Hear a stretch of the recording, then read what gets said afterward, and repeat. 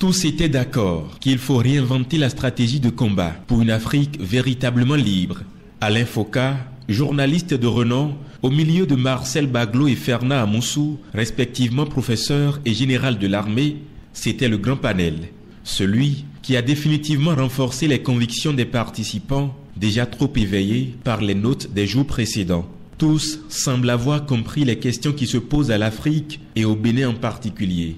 Les conférences de l'Union, un rendez-vous porteur de leçons. Nous avons appris que sereinement, sans passion, nous pouvons discuter, dialoguer entre nous sur des questions relatives à la vie de notre pays, quelles que soient les pensées, quel que soit ce que chacun envisage de faire. J'ai entendu des interventions de jeunes qui m'ont beaucoup stimulé parce que c'était structuré, organisé, positif.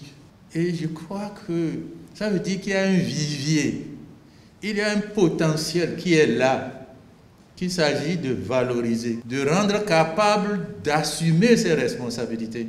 Nous vous remercions de nous avoir donné l'occasion de découvrir des talents dans notre pays, de découvrir des passions pour l'action commune, pour l'action publique, je ne dis pas politique.